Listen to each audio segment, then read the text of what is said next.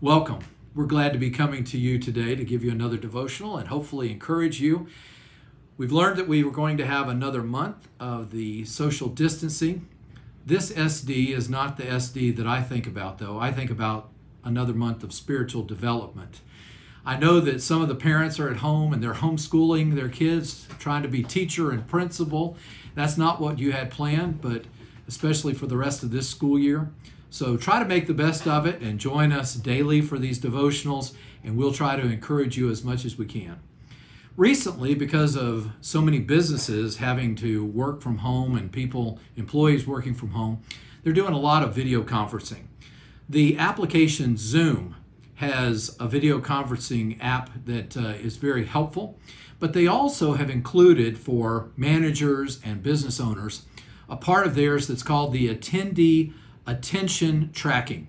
So if someone's participating in a conference call or conference uh, Zoom video conference, they may be distracted. And if they're trying to multitask or do other things, then this app calls them out. It highlights it so that the manager or owner can see that they're not giving their full attention.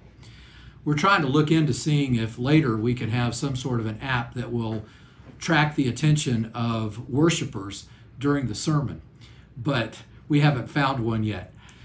As I think about what we're dealing with, certainly our attention has been called into focus on this virus and the health concern that we have in public safety for everyone. When we hit the pause button and we have an occasion, sometimes people look at prayer as being a, a spiritual crisis management.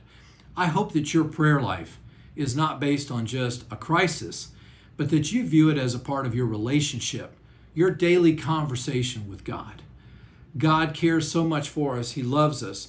And so the scriptures encourage us to pray often.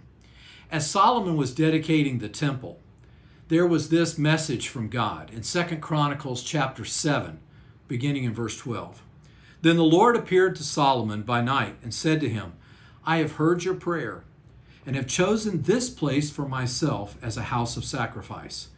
When I shut up heaven and there is no rain, or command the locust to devour the land, or send pestilence among my people, if my people who are called by my name will humble themselves and pray and seek my face and turn from their wicked ways, then I will hear from heaven and will forgive their sin and heal their land.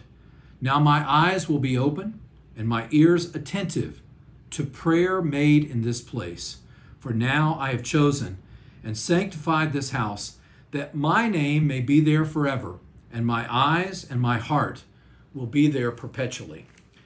Did you know that in 1 Corinthians chapter 3 and verse 16, Paul says, Do you not know that you are the temple of God, and that the Spirit of God dwells in you? So the place in which God now hears prayer comes from the heart of the sincere Christian, the person who has committed their life and yielded it to God, casting all our care upon Him because He cares for you, as David said in Psalm 55 and verse 22. In Psalm 61, verses 1 and 2, listen to how David calls this act of prayer. He says, Hear, hear my cry, O God, attend to my prayer.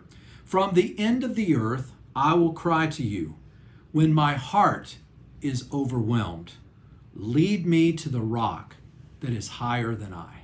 What a beautiful thought that whenever we are overwhelmed, whenever life just seems to kind of push in or overflow, when we feel overwhelmed, we can go to the rock that is higher than anything else God. The power of prayer is found in posture. That is, when we yield ourselves, when we submit ourselves, when we bend ourselves. One of the words that's used in Scripture in the Old and New Testament for worship is the idea of to kiss the ground before. When we kneel, when we kneel before God, He recognizes, He hears the sincerity and the humility of our prayer. In Psalm 95 and verse 6, the psalmist said, Oh, come, let us worship and bow down. Let us kneel before the Lord our Maker. That posture of absolute recognition, reverence before God is what is important in prayer. Sometimes we worry about whether or not our prayer will be heard. God has assured us, promised, that He hears our prayer. In Psalm 145 and verse 14, the Lord upholds all who fall and raises up all who are bowed down. When we bow before our Maker, He hears our prayer, He answers our prayer, and He can give us those things that we need. That posture of kneeling is adoration. Adoration in our hearts. We adore God for all that He is. Jesus taught the disciples to pray, Our Father who art in heaven. As we think about God and how high He is, how holy He is, then we certainly reverence, adore God before us. We bow before kings.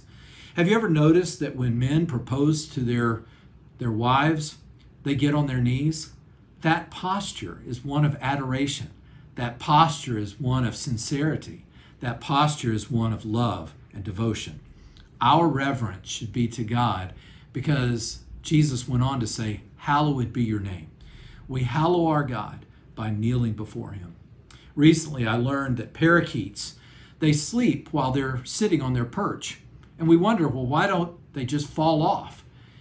Well, something about the way God created many species of birds is that when their knees are bent, when their legs are bent, their claws hold on very firmly. They grasp, they clutch, they will not let go. Think about that. When we bow our knees before God, it not only brings us into a right posture before God, but it also attaches us. When we bend the knee, we clutch more closely to our God.